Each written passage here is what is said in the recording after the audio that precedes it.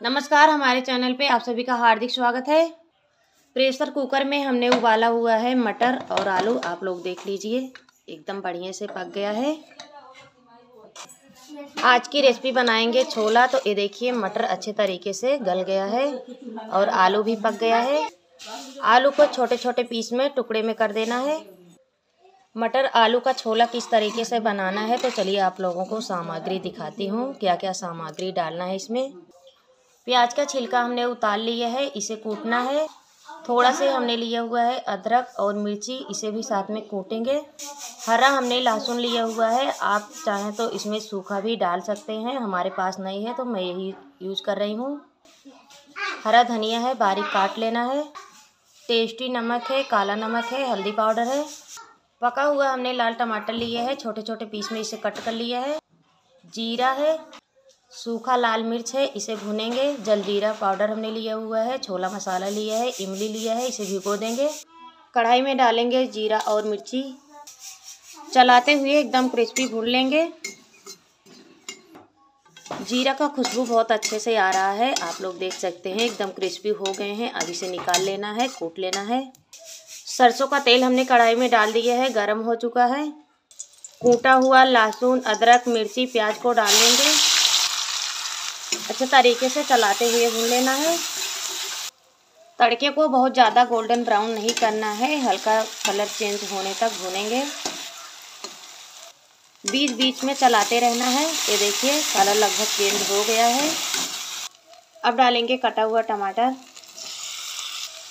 थोड़ा से डालेंगे टेस्टी नमक। चलाते हुए साथ में भून लेंगे। टमाटर गल जाए, इसके लिए ढक के पका लेना है एक दो मिनट के लिए। प्लेट हटा के चेक कर ले रही हूँ। अब इसे चला देंगे। टमाटर बहुत अच्छे से गल गया है, आप लोग देख सकते हैं, सारी सामग्री बहुत बढ़िया से पक गई है। अब डालेंगे हल्दी पाउडर और छोला मसाला।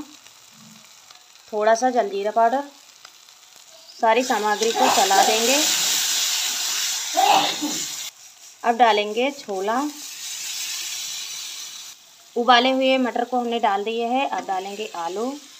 अब डालेंगे काला नमक। भुना हुआ जीरा और मिर्ची थोड़ा से डालेंगे।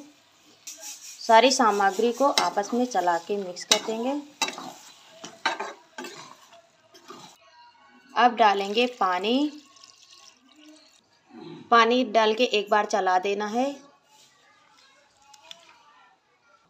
छोला पकना स्टार्ट हो गया है। इमली वाला पानी हमने मिक्स कर दिया है। इमली को अच्छे तरीके से इसका रेसा निकाल दिया है। इसे भी डाल देना है। छोला की रेसिपी आप लोग इसी तरीके से बना सकते हैं। अब डालेंगे बारीक कटा हुआ हरा धनिया का पत्ती। आप जितना सूखा या गीला बनाना सक, चाहते हैं तो बना सकते हैं। देखिए, अब ज़्यादा हम नहीं सुखाएँगे इसे। लगभग तैयार हो गया है। दस बीस मिनट हो चुका है। गर्मे गर्म स्वादिष्ट, टेस्टी छोला बनके तैयार है। आप लोग देख सकते हैं, आप इसे चावल रोटी के साथ में एंजॉय कर सकते हैं।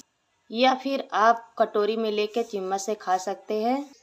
प्याज, मूली, धनिया, नमकीन से गार्निश करके ऊपर से बहुत ही अच्छा लगेगा। चलिए यहीं पर वीडियो को करती हूँ समाप्त। नमस्कार।